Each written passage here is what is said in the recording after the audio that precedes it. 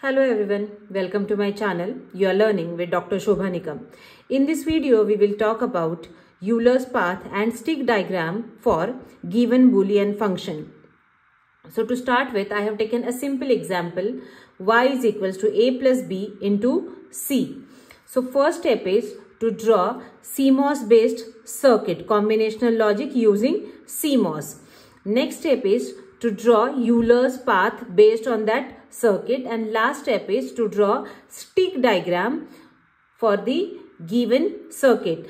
I have prepared separate video regarding implementation of or design of combinational circuit using MOSFETs. So I have explained everything about pull-up network, pull-down network, NMOS, PMOS, when to connect them in series, when to connect them in parallel. Here, to keep length of this video short, I'll simply tell you two rules. Two important rules are, we can implement any combinational circuit using either sum of product form or product of sum form. In both cases, what we need is addition operation and multiplication operation. So, very first rule is when we implement multiplication operation, N-channel MOSFETs are connected in series and to implement addition operation, N-channel MOSFETs are connected in parallel. When NMOS are in series, then PMOS are in parallel. And when NMOS are in parallel, then PMOS are in series. Next thing is P-channel MOSFETs are always connected in pull-up network and N-channel MOSFETs are always connected in pull-down network. So we will start with pull-down network. So see here, my first thing is A plus B. So this is addition operation. So I will connect N channel MOSFETs in parallel. This is pull down network. So it is connected to VSS or ground. See A and B are connected in parallel. Then this entire term is in multiplication with C. So we will connect C in series with this circuit. So this is our pull down network. Now let's start with pull up network. So here A, B are connected in parallel. So here we will connect A, B in series.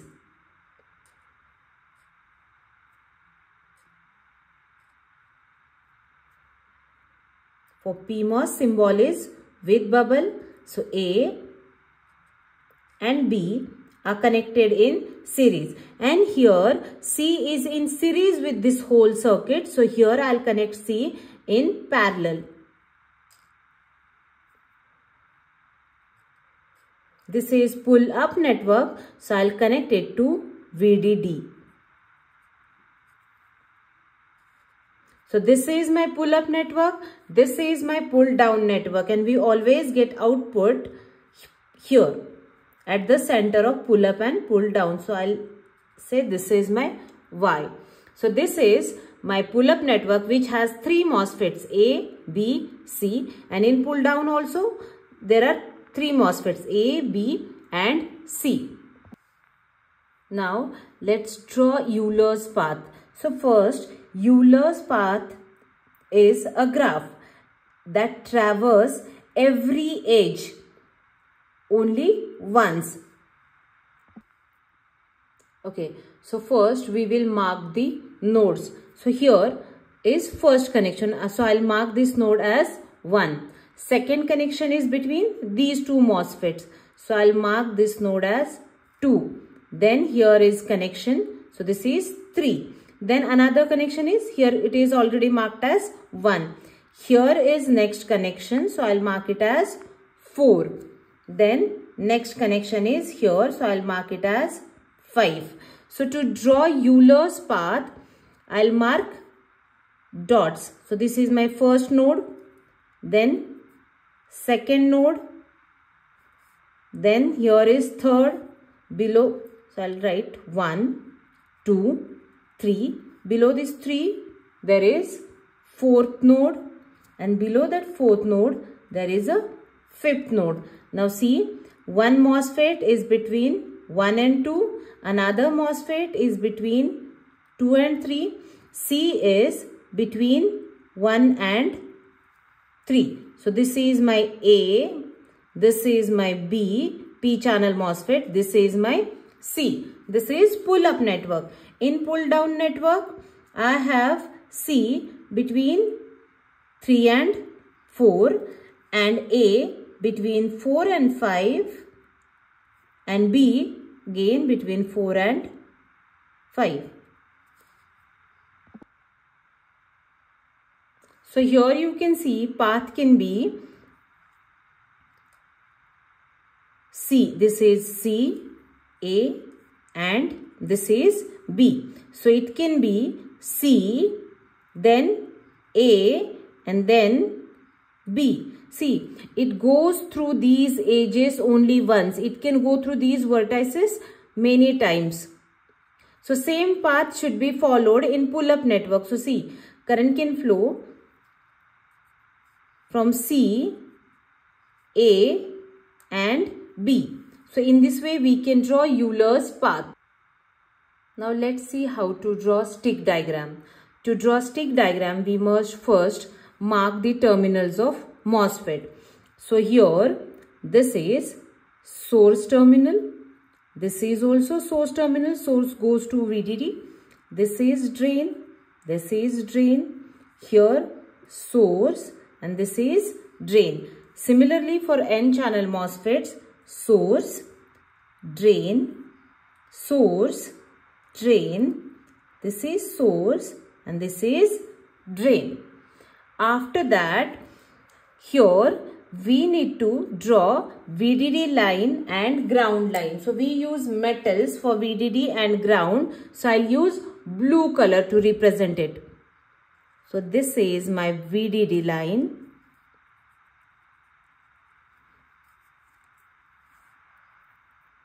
And here is my VSS or ground. Then in P channel MOSFET we use P diffusion and to represent that P diffusion we use a yellow color. So I'll draw this is my P diffusion. And to represent N diffusion for N channel MOSFET we use green color.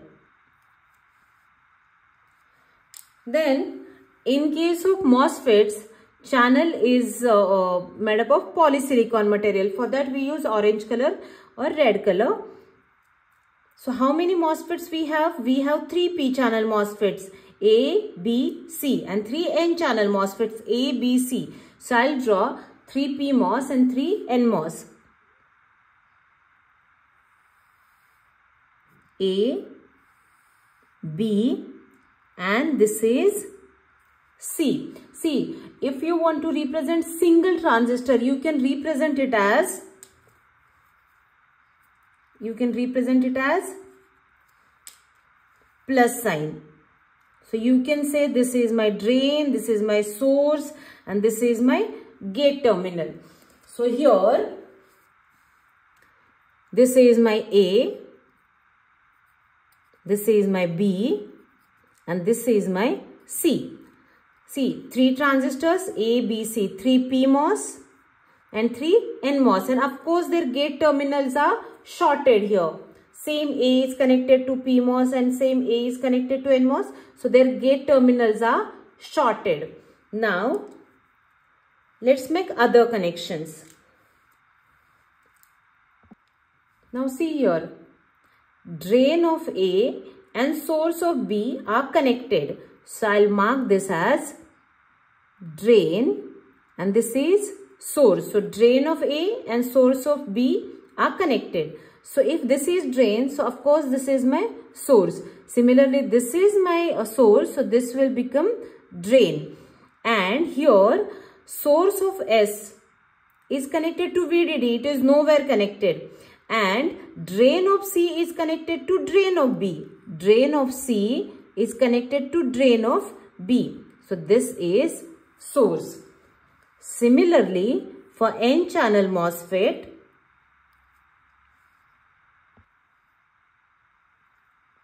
this is drain, source, source, drain, source and then drain. Now see here, source terminal of A, this is my A PMOS. Source terminal of A is connected to VDD. So here it is connected and to represent connections we use this cross. Then these two are already connected drain of B and drain of C. So drain of B and drain of C are connected and source of C is connected to VDD. Source of C, this is C. So it is connected to VDD. Then output is taken from drain of C and drain of B. So this is drain of C and drain of B and from here we will take the output. So these are connections for pull up.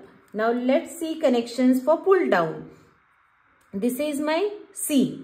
So drain of C. Here you can see drain of C MOSFET is connected to output Y. So this is my output Y. Here it is connected. So here what I'll get? I'll get output Y. So you can see output is taken from drain of C and drains of B and C. So here I'll get output. Next connection is VSS. VSS is what? Source terminal of B and source terminal of A. So this is my A, this is my B. Their source terminals are shorted and I'll connect it to VSS. Next, this connection is remaining. Source of C and drain of B. So source of C and drain of B is connected to drain of A. So this is drain of A. So in this way we can draw stick diagram. So this is Euler's path for this circuit and this is stick diagram of the circuit. So here are inputs A, B, C are inputs and here we'll get output Y. So significance of this is Euler's path helps place CMOS transistors in a line to save space and make wiring easier. It connects transistors without breaks, making the layout smaller and faster. And in case of stick diagram, a stick diagram is a simple drawing showing how parts of a circuit connect.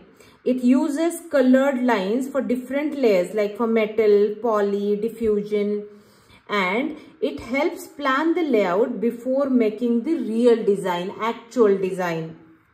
It's like a rough map of the chips layouts. So it was all about Euler's path and stick diagram. Thank you so much for watching.